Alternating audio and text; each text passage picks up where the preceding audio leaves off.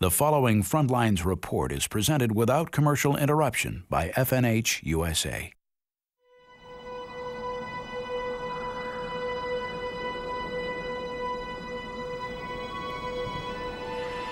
Burglaries, home invasions, robberies, larcenies, uh, child abuse, neglect, uh, all these other crimes, you know, most of the time they trickle back to prescription drugs.